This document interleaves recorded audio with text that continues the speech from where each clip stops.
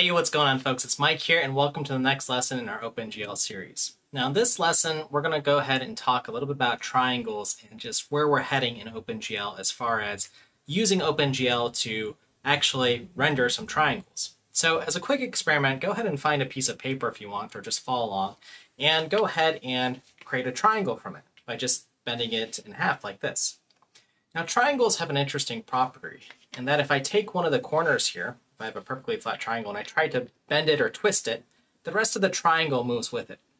In fact, this is actually a really important property of a triangle and why we use it. The fact that it always remains planar here, and it's not going to have any curves or anything sort of weird associated with the triangle. This lets us quickly rasterize or fill in the individual pixels when we model things with triangles. So that's one reason why we use triangles in 3D graphics, especially in interactive computer graphics. If you go on to look at movies like Pixar and DreamWorks, for instance, they might use other rendering techniques that could be in another series. But for now, we're going to focus on interactive programs and triangles. So with that said, let's go ahead and take a look at what we've been doing here. So here's a model of a triangle here, this golem that uh, showed up here. And as I mentioned, if you look closely, this golem model is made out of triangles. So the properties of triangles that we like are that it's planar and it's just a simple shape to work with. Given enough triangles, we can approximate some character like this with relative uh, ease in the sense of how the graphics hardware actually processes these triangles. So some other properties of triangles, just so you're aware of the terminology, we say that we have three vertices here, and that's at uh, each of the uh, points here. So shown here, here, and here. And triangles are connected by, or rather the vertices, excuse me, are connected by these edges here. And these are uh, line segments essentially between two vertices. And oftentimes in this graphic series, you're going to hear me refer to things as points or vertexes. Um, you might be, you might want to think of a triangle like a graph and call it a node. That's probably okay, but in this context, we really want to think of it as a vertex since it's actual geometry. And then this actual triangle here is what we'd call a face here. This triangle has one face, or at least one front face facing outwards. On the other side of the triangle, there would be one other face as well. Okay, so now that we have a little bit of a review of triangles and what they are, let's talk about some of the OpenGL structures that we're actually going to be using here. So, last time, if you watched our previous lesson, we actually did some code to do our first OpenGL function call. That was this GL get string. And that was to ensure that OpenGL and so on had been set up. But before we move further, again with rendering triangles, I actually want to take a step back and give you some idea of what we're going to be doing in the next lesson when we open up some code. So the idea is we're going to be using two OpenGL objects to achieve this. So let me go ahead and just label this here, OpenGL objects. And there's a lot of different objects in OpenGL, and I'll talk a little bit about this later on when we talk about code, again, just to help you with your mental model of OpenGL. But the two that we're going to work with are vertex array objects, and they're often abbreviated V a O for instance. And I'll go ahead and explain what this is in a moment. The second thing that we're going to work with is called a vertex buffer object.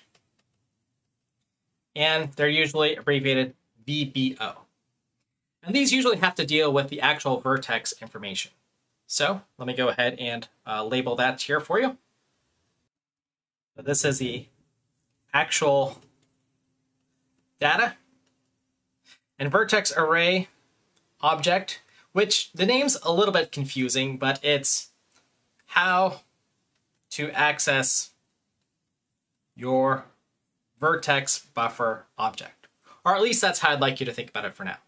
So let me sort of pictorially try to give you an idea of what this means. So again, going back to our idea here of what a triangle is. Now each of these individual vertices here, and I'm just going to highlight one, has a x, y, and a z position here. And I'm actually going to label these here, x1, y1, and z1. And we could do the same for our other vertices. For now, I'll just go ahead and put a number here. 1, 2, and 3. Doesn't really matter the order that I specify them in. But somewhere I need to capture this information if I'm going to pass it to my hardware so we know how to represent this triangle. And again, to do this, we're going to use something called a vertex buffer object. So what does this mean? Well, a buffer itself is actually just an array or a block of data here. So let me go ahead and label this.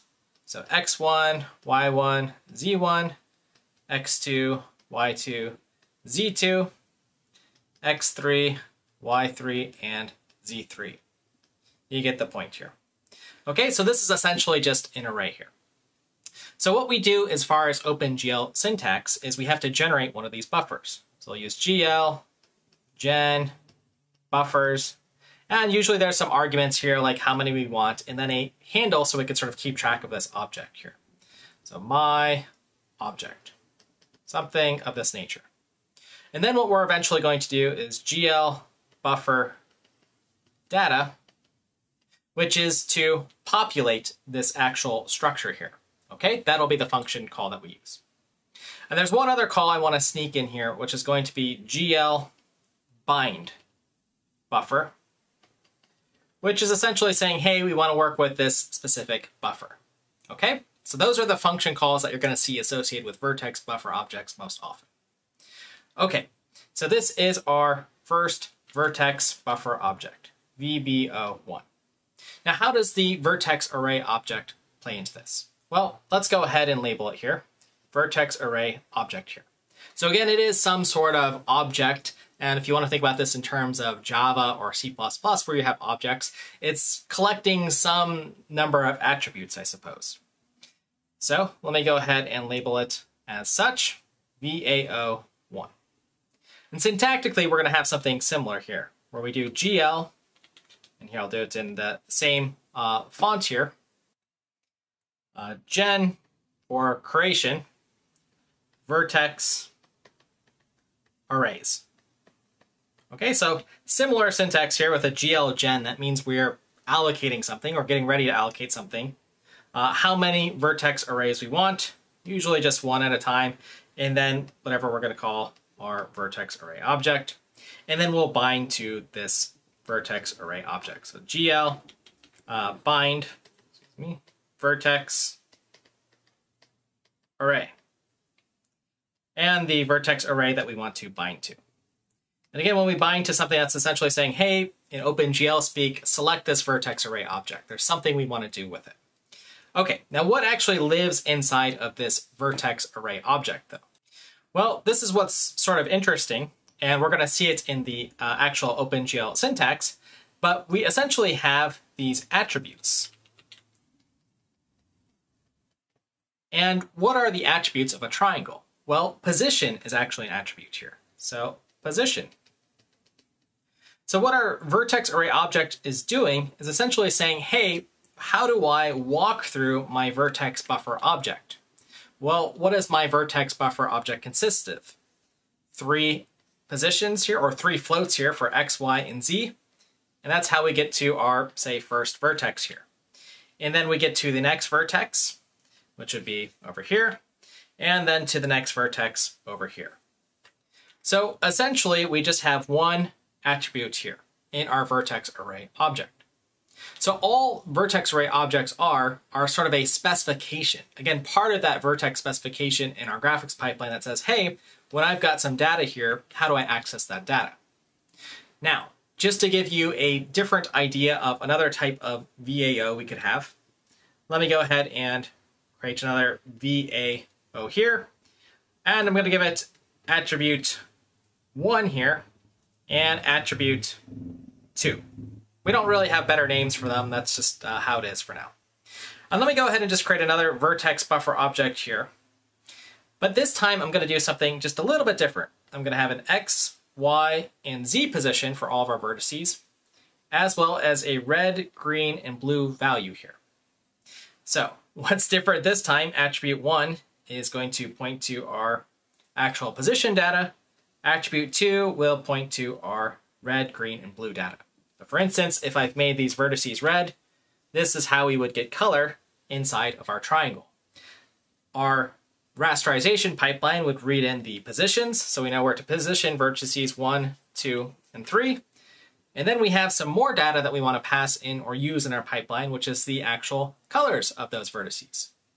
And depending on what type of data that I want to access, that is these vertex buffer objects, I either activate vertex array 0 here, or excuse me, 1 here, or vertex array, well, object 2 here that we have.